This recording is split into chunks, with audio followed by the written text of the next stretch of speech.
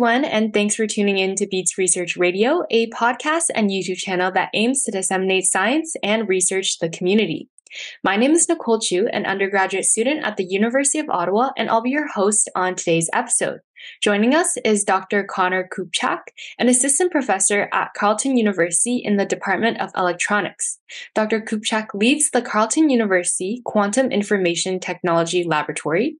The main research focuses of their team include the development of light based quantum communication technologies for applications in the future quantum internet.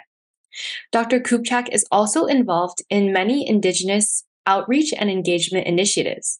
He currently serves as the Indigenous Mentorship Program Manager for Let's Talk Science at the University of Ottawa and Carleton University.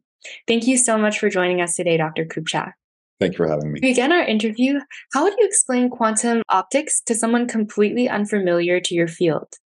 Great, great. Yeah. So, I mean, that, that could be very uh, long winded and, you know, um, complicated question, but I think you know, most at the most basic level, quantum, uh, quantum optics is the quantization of light and electromagnetic field. And so basically what this means when we say quantization, it means that we're like saying taking, you know, light and breaking it down to its small and smaller constituents. Basically, you know, imagine we had the light that we see and we keep attenuating, and attenuating, attenuating to small and smaller amounts until we can't attenuate anymore. And so that limit is what we call like the quanta of light. And so specifically for light, we kind of refer, we refer to this as photons. It has its own special name for a single quanta of light. And then quantum optics as the field where being doing research is the study of these photons, uh, very very few number of photons, and how it interacts with very with matter and very few amount of atoms. And so, as you can imagine, single particles of light are very fragile because if we have, like, say, a laser pointer and we shine it at the wall, those photons then become destroyed and are no longer useful. So you could just think that, you know, if you capture a photon with your eye, you know, you register that in your brain, like that is no longer useful. So these photons are very fragile. So if we want to actually use them um, for, you know, interesting and advanced applications, we need very complex devices and very elegant t- techniques in order to study them. And so what's really neat about quantum optics is that even very recently, it was at the core of the most recent uh, Nobel Prize in Physics, Physics, the 2022 Nobel Prize. And this was awarded for the demonstration of quantum entanglement using photons. And so a bit about quantum entanglement, you could probably get like a hundred different explanations for what it is. And of course, I have my own explanation. That's what I'm going to give. But it's a phenomenon where occurs where you have two entities. And two entities just means two things and they're you know physically separated they have some sort of way that you could um, you know uh, disattach one from the other but despite that and they exhibit quantum effects but they're even though they're you know physically separated or somehow different systems they're actually inherently tied to each other right they have some sort of inherent underneath underlying connection and so what this means is that when we what happens to one of these entities, or in this case, let's say photons, what happens to one photon immediately has an impact on what happens to the other photon, even though they are could be very far apart from each other. So this is kind of what Einstein, his famous quote, was saying. This is what spooky action at a distance. And so, true. And so, like, kind of in, in short form, is like say that you have, uh, you know, well, it could be two photons, but say one is red and one is blue. If you send the red one, you send one in one direction, and the other in the other direction. If one says, "Oh, I have the red photon," they immediately know the other one's blue. And so someone might say, "Well, how do you know the photons just didn't like decide? You know, they were going to be red and blue beforehand?" And uh, you know, and and we're just kind of you know confirming that's the case, and basically proving that it was truly unknown which was red and which was blue until the measurement was made took many decades of research.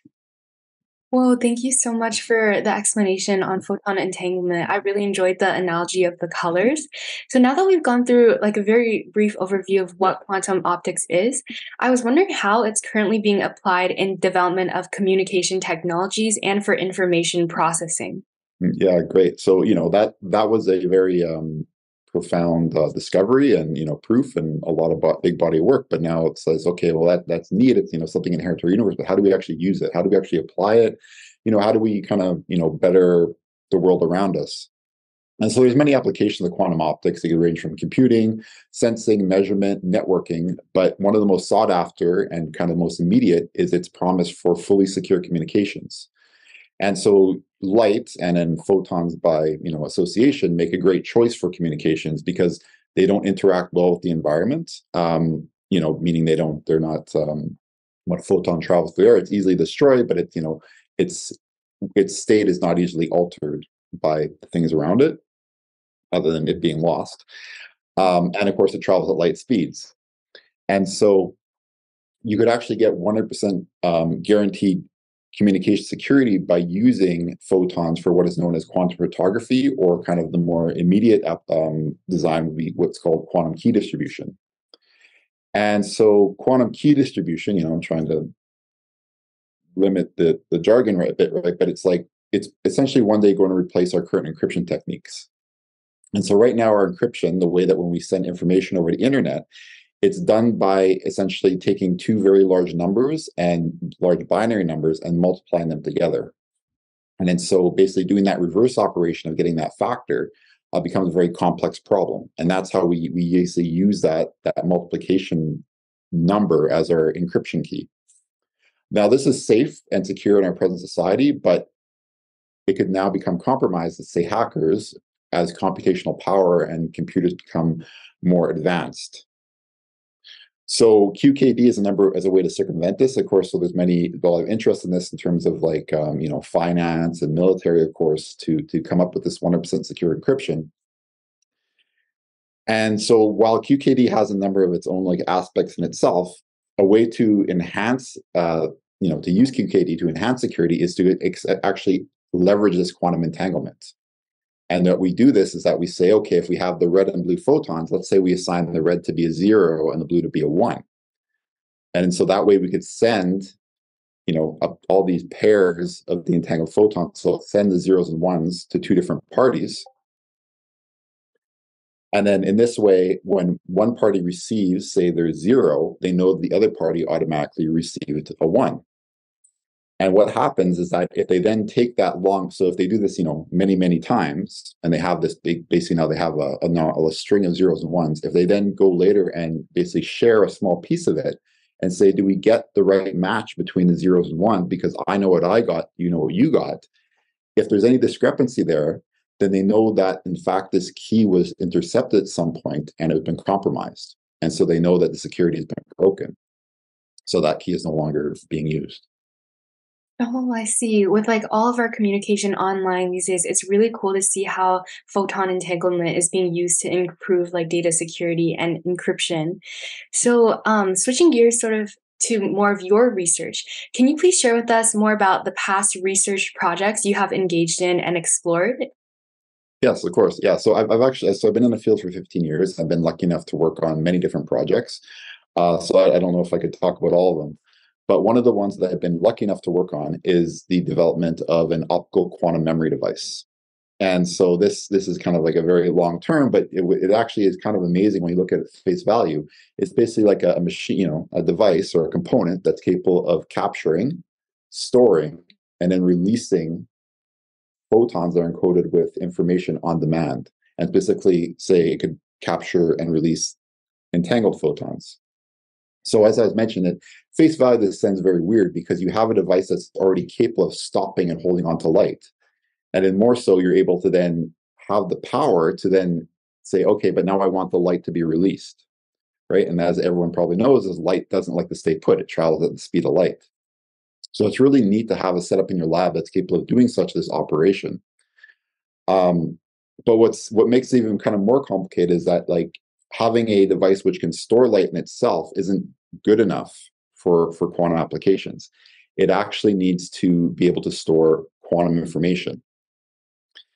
Um, so what that means is that a quantum memory, a device capable of storing quantum information, can actually make a measurement at it. It can actually know what it has. So if you think about your laptop that we currently use, the memory inside stores your info as a strings of zeros and ones. So when you recall the information, it knows that it had a zero one. It knows how to, you know, take take that information and pull it out.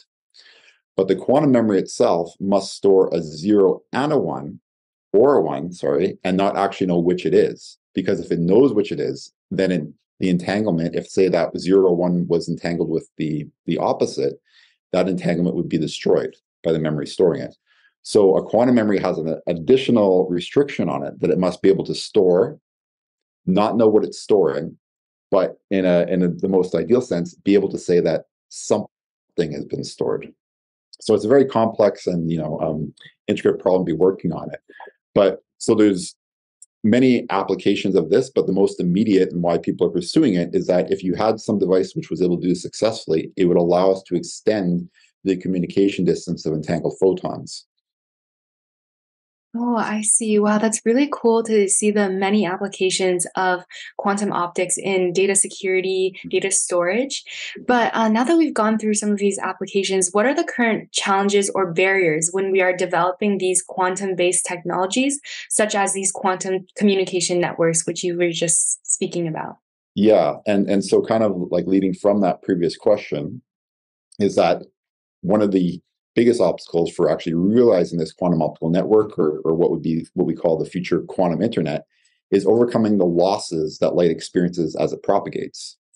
So kind of the way that so the way that it works right now eh, when we communicate through optics fiber optics is that we send light that's been encoded with information through optical fibers.